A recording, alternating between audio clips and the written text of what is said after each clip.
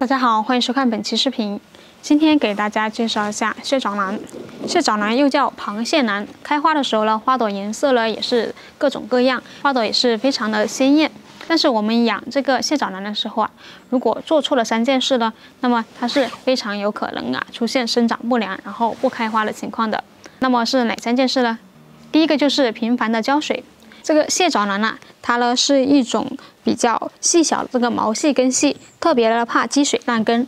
如果我们频繁的浇水啊，或者是经常让它处于湿润的状态，它就会出现了积水烂根，然后直接生长不良不开花。所以我们浇水的时候啊，等到它盆土干透了再浇水就可以了。第二点就是呢，不要随意的给它更换盆土，因为它的根呢特别的瘦弱，特别细小。如果我们经常的给它换盆了，很容易伤害到它的根系，那么根系受损就会导致了植株生长不良，所以千万不要随意的更换盆土，一般一到两年呢给它更换一次盆土就可以了。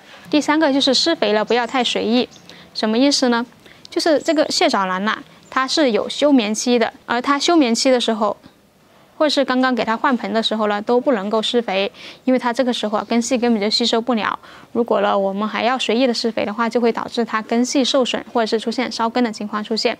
我们只需要在它生长旺盛期的时候呢，给它施足够的肥料就可以了。所以如果大家想要把蟹爪兰养得好啊，我们呢一定不能够做这三件错事，那么蟹爪兰呢就能够长得非常旺盛，花期的时候呢也能够开爆盆。好了，今天就给大家介绍到这里，我们下期再见。